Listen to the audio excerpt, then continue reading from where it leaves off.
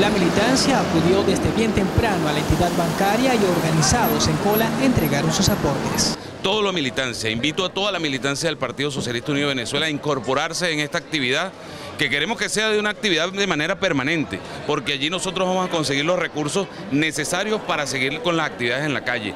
Eh, actividades de formación, actividades de movilización, actividades de defensa de los logros de la Revolución Bolivariana.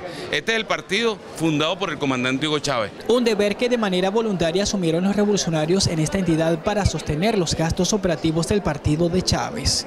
Nosotros somos revolucionarios, construimos con nuestro partido porque creo que esto es un deber y es un deber ya como, como compromiso político. Hoy estamos cumpliendo con este deber, es una responsabilidad que tenemos todos los revolucionarios y si nos sentimos chavistas, con mayor razón necesitamos contribuir para que el partido se mantenga. Los más de 270 mil militantes en toda la entidad están llamados a aportar un día de salario por la revolución. Desde el Estado portugués, Fray Manchayes.